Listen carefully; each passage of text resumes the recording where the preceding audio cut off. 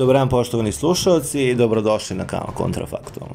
U današnjoj epizodi pričamo o futbolskoj legendi sa ovih prostora, o Stjepanu Bobeku.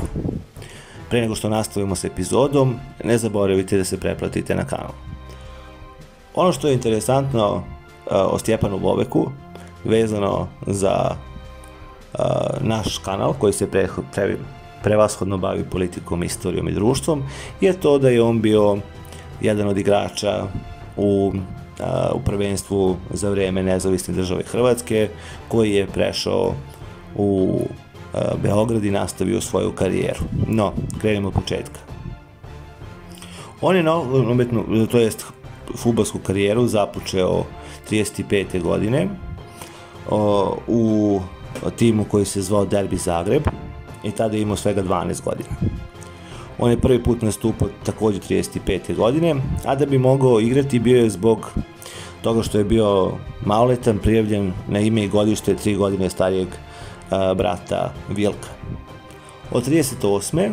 do 42. godine igrao je za klub a, Zagreb, dakle, a, a godine 41. nakon uspostave NDH Predsjednik kluba Vidović šalje ga u austrijski prvoligaški, klub Admiru Vaker, gde ostaje nešto više od 6 meseci. Zatim je igrao e, za klub Ličanin iz Zagreba od 42. do 44. godine, za Zagrebački građanski, odnosno današnji Dinamo, 44. do 45. Građanskom je pristupio u avgustu 44. godine na poziv Martona Bukovija. Godinu 45. prešao je u Beogradski partizan. Bio je dva puta najbolji strelac prvenstva Jugoslavije, i to 45. godine sa 8 pogodaka i sa u sezoni 53. na 54. uz 21 pogodkom. Za Partizan Stjepan Bobek je odigrao ukupno 471 utakmicu i postigao impozantnih 417 golova. Bobek je osvojio dva prvenstva, 47. i 49. i četiri kupa, i to 47. 51. 54. 57. sa Partizanom. Na prvenstvenu utakmicu uh, koju je igrao Partizan u Nišu 46. godine protiv 14. oktobra, Partizan je pobedio rezultatom 10-1, a Bobek, popularni Štef, je postigao 9 pogodaka godine 95. u velikoj anketi Partizanovog vesnika organizuje za 50. godišnicu kluba, izabran je u najbolji uh, tim Partizana svih vremena i za najbolji igrača Partizana svih vremena. Uh, što se tiče njegove reprezentativne karijere, za mladu reprezentaciju Hrvatske igraju od 43. do 45. godine dakle u vreme NDH.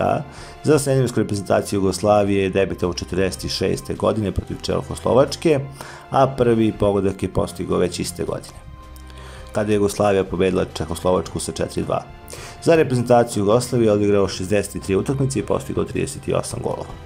Zadnju utakmicu za reprezentaciju Jugoslavije odigrao je 56. godine protiv Mađarske u Beogradu učestvuje na dva svetska prvenstva i to u Brazilu 50. i Švajcarskoj 54. kao i na dve olimpijade u Londonu 48. i Helsinkiju 52. na kojem je osvojio dve srebrne e, medalje. Nakon završetka igračke karijere, trenirao je mnoge klubove, dakle od Partizana, Zagreba, Vardara, Galenike, zatim Legiju iz Varšave, Panathinaikos, Olimpijakos, Alanju iz Izmira, čak je trenirao i u Tunisu, Bog e, osvojio je pet državnih prvenstava sa Partizanom 3 i dva s Panathinaikosom i dva kupa grčki s Panathinaikosom 67. i uh, u Tunisu sa Esperancom 76. U drugoj saveznoj ligi Jugoslavije sa Vardarom je osvojio prvo mesto i promociju u viši rang takmičenja, isto tako je i Zemunsku galeniku uveo u prvoligaško društvo. Što se tiče njegovog uh, razvojnog puta, Dakle, kao što smo rekli, počeo je da igra za Zagreb, bio je na pozemici u Admiri Vaker, zatim za Ličanin, pa za Građanski. Igrao je u jednom kratkom periodu nekih e, tri utakmice za Jugoslovensku armiju, a kada se iz Jugoslovenske armije e, klub e, preobrazio u Partizan, tu je nastupio 198 puta. Karijeru, kao što smo rekli, imao je bogatu trenersku i na kraju od individualnih priznanja imao je za najboljeg strelca prvenstva Jugoslavije, kao što smo rekli, i nagrada od Sportskog saveza Beograda za životno delo koje je dobio 89. godine, a umro je 2010. dakle u poznoj starosti u Beogradu. Nadam se da vam se epizoda dopala, ne zaboravite da se pretplatite na kanal i vidimo se uskoro. Prijatno.